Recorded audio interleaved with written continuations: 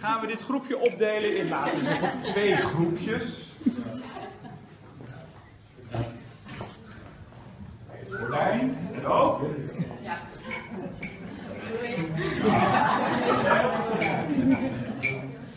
I like the flowers. I like the daffodils. I like the mountains. I like the green hills.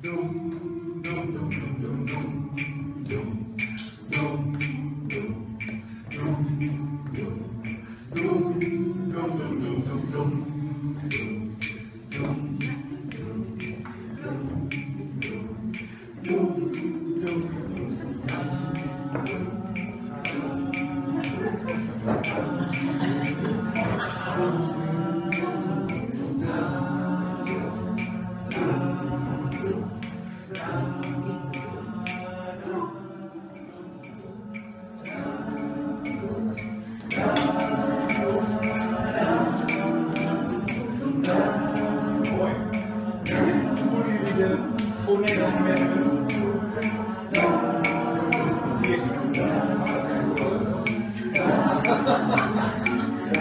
you.